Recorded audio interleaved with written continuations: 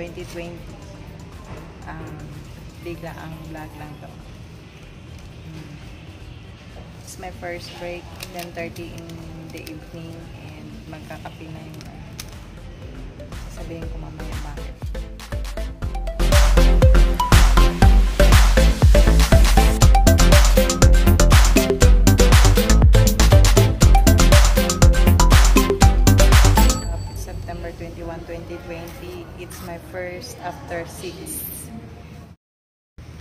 Break time. Bibili tayo na pagkain sa Family Mart. May tindahan kami dito. Kakagutom guys. Sobra. Sige na.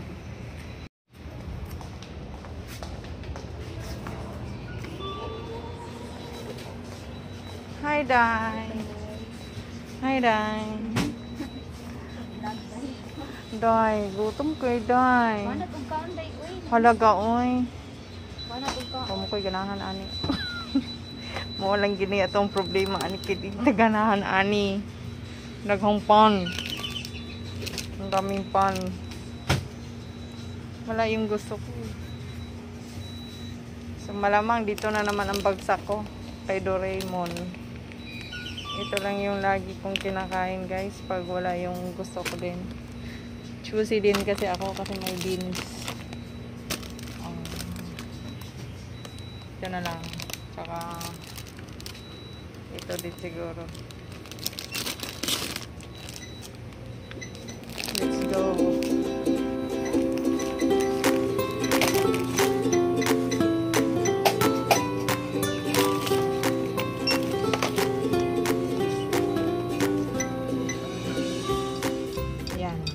Na sa Doraemon. Pang sausaw yan sa kape guys. Yan lang. Yan. Ganito ang kapalaran ng Doraemon. Yan. Tapos, sausaw kape. Ayan, log-log. Kain na. Yeah, naligo na si Doraemon. Ayan na nga guys. September 21, 2020. It's my first after 6. It's my first OT after 6 months. Ah, last OT ko din ay March 21. Last March 21. Ibang department nag-OT na sila. Matagal-tagal na. Nag-start sila noong mga July. Tapos, what what is my point? Ba't ako nagbablog? Para kasing nasanay na yung katawan ko na tuto yung pasok. At ang araw ngayon ay Monday. Pag Monday dito sa amin, sobrang busy, ang daming gawa. Kahit pinaghandaan ko ng isang araw na tulog kahapon, alas 9 pa lang ng gabi na umos na yung kalakasang naipon ko guys. Kaya ayun. Samahan niyo ako buong gabi. This is my first first break. Mamaya uli, mga 3.15 or 3.30 magbe-break uli ako. Hanggang pag tingnan natin kung anong yung ma- mangyayari sa kaganapan ko ngayong gabi. Nakakalula ang pagod. Nakamamatay. Salamat na lang kay Doraemon. Guys. See you after eternity.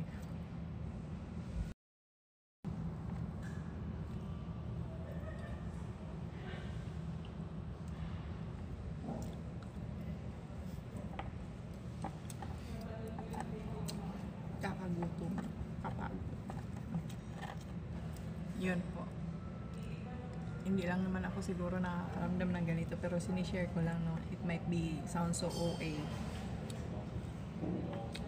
Sinishare ko lang yung unang experience ko ng pakiramdam ng OT over time after 6 months.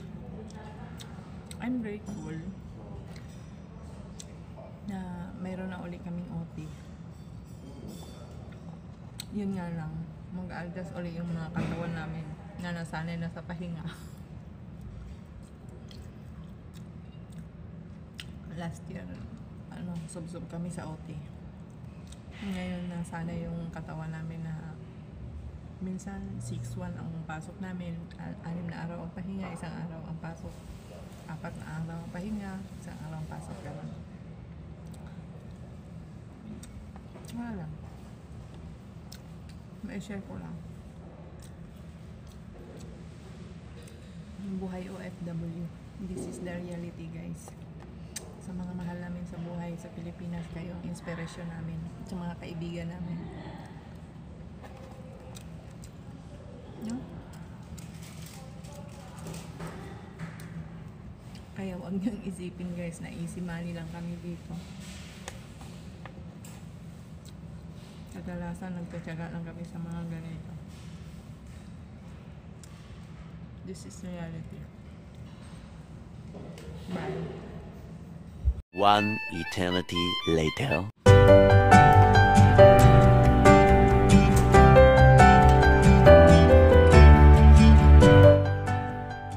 Hi guys! Welcome back again. It's 3.30 sa madaling araw. 3.30 na umaga is second break.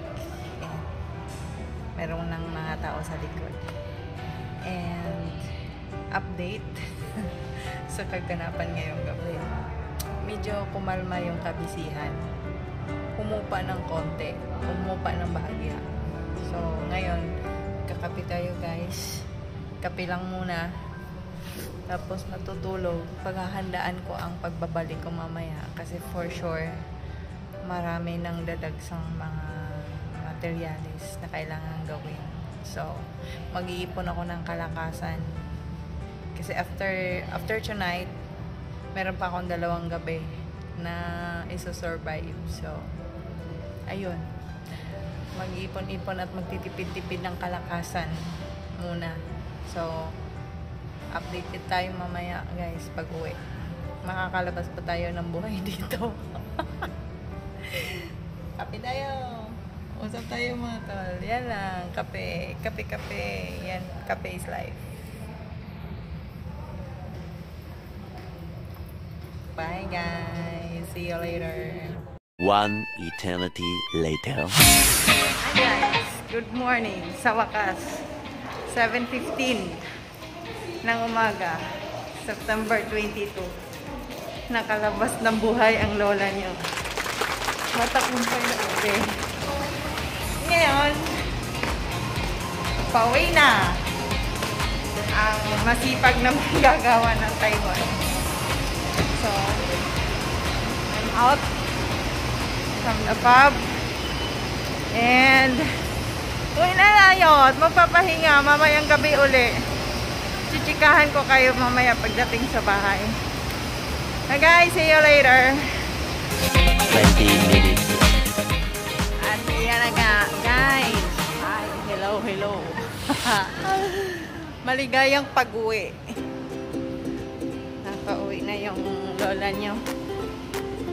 Pero hindi muna ako nakabili ng pagkain. Ah, wala pa akong type kainin. Ah, uwi muna ako ng room. Mag-iisip kung ano ang pwedeng kainin. Ay, pala. Kita tayo ng bundok. Slight lang naman. Very, very light. Ito na ang room ko. Isang dangka lang. Here's my roommate. Ayan. Nakauwi na sila. Salamat sa Lord. And, ah, ang sexy mo naman, Gara. It's my roommate, Gara. Kailangan nyo na magpakilay, Gara is the name. So, mag-usap tayo maya-maya, guys. Maghanap muna ako ng pagkain. Bye. So, yun na nga, guys. Ayan na ang kwento. No. Paputol-putol. So, nakita niyo yung journey ko buong gabi. Ngayon, ang ganap ko ay hindi ako, yung pagod ko, is kung i-explain ko yung pagod is yun yung pagod na naramdaman ko way back 2015 2017 yung tipong kahit gutom ka pero mas gugustuhin mo na lang na matulog dahil sa pagod yun yun pero ngayon ah, I opted myself na kakain talaga siya kasi may dalawang gabi pa ako. And so first simula nung pumasok ako bumalik ako ng 4 4:30 hindi na hindi na na ano hindi na napakali ang aking katawan hanggang sa uwian na at tuloy-tuloy ang daloy ng pawis guys kahit malakas yung aircon sa loob so yun po na-miss lang siguro ng katawan ko yung ganong klasing trabaho for 6 months talagang nakapagpahinga siya siguro naninibago lang ako ngayon ang naramdaman ko ngayon ay talagang hilo. Nahilo ako sa pagod. Hindi ko alam kung nahilo ako sa gutom, pero I don't think so. Kasi dalawa ang tinapay na natira ko kagabi. So, for now, ano, hindi ako magra-rice. Ito pa rin, oat cubes. Ito yung magsisilbing pagkain or rice ko ngayon, kanin ko ngayon. And, meron ako ang, meron akong noodles. Ayan. Wala din kasi akong natipuhang kainin sa labas. So na nga guys, yung pinakita ko today or simula kagabi is just a glimpse kung ano yung buhay namin as mga OFW, factory worker. Ang location namin guys, mga nanonood na ano, ta- nasa Taiwan po kami. Factory workers po kami dito sa Taiwan. So, um, hindi biro at trabaho. Pwera na lang sa ibang mga department talagang nakaupo lang sila. Pero sa si department or sa area namin napuntahan ko personally is ano, physical ang labanan talaga. Physical ang laban. So, every moment counts. Kasi pag lalamya-lamya ka, matatambakan ka, ikaw din ang maaligaga before kailangan maligpit na siya, kailangan malinis na siya before papasok yung pang umaga or ka-indoors. So yun po, um, share ko lang, konting share ko lang, hindi naman sa pag-OOA, no? Parang as if naman ngayon lang ako nakatikim ng yung OT. Pero, yung first, after the this pandemic, um, parang nanibago talaga yung katawan ko. And yun nga ang sana ay gusto ko sana humindi. Pero sino ba naman akong umayaw, di ba? Napaka-choosy ko naman. Napaka-OA ko naman kung aayaw ako sa OT. Nag-iisang OT na nga lang. So yun, for this month, I'm so thankful. And for today, and ano, I'm so thankful pa rin kasi na-survive talaga yung gabi. Nakauwi akong matiwasay na though medyo ano talaga naubos ang kalakasan ko. Na, pero all things work together for good. God will restore the strength. And I hope ganun din naman ang mga kapwa ko manggagawa na nakakapanood dito ako personally gusto ko lang din i-share kung ano talaga mismo yung buhay OFW lalo na sa mga mahal namin or mga nag expect sa Pilipinas na being OFW hayahay na ang buhay. Hindi po yun ganon. Uh, ito po yung typical na usual na eksena ng OFW. Tapos karamihan sa amin sa mga roommate ko dito uh, bumibili sila ng pagkain sa isahan lang. Yung parang pentang set meal na gano'n na hatiin nila. Kakainin nila yung kalahati ngayong umaga, tapos the rest mamayang gabi or or baon nila mamayang gabi. So ganun po 'yun. Ako wala akong specific na gano'n na arrangement sa sarili kong kung gusto kong kumain ng ganito, ganyan ganyan lang. Ayun lang. So yun lang ang buhay. Pag pecha de peligro, uh, mayroon kaming imbak na dilata. Mega sardines, tatak barko, tatak sariwa. Yan po, hindi po masarap or hindi po madali ang buhay OFW sa mga nangangarap at nag-aspire na mangingibang bayan, dapat tibayan nyo talaga yung kaulooban nyo.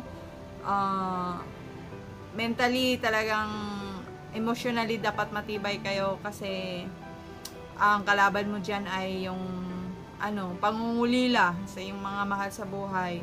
And physically din kailangan talaga prepare mo yon physical. Walang arte-arte dito. Pero na lang sa mga nagpunta dito para rumampa or magpa-cute. Pero ako personally pinunta ko dito ay ang paghahanap buhay.